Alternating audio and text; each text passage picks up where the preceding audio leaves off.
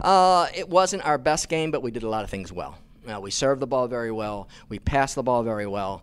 Uh, I thought our defense was good. Uh, we were we, we, we did a good job blocking. Uh, so we are real happy with the result. That's all we cared about was whether we won or not. and so I thought we did a good job with that.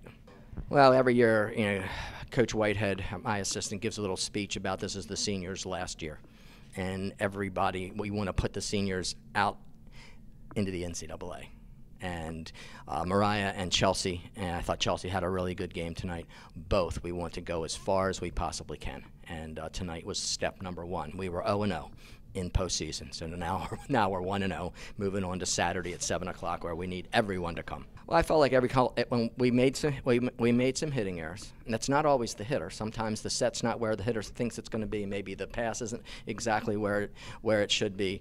But uh, every time we called a timeout, we responded. You know, we you know we might be down by one or up by one, and we responded immediately. We didn't get panicky. We played with a lot of confidence, uh, and you know, and we're co- you know they were listening to us as to uh, what we needed to do to side them out.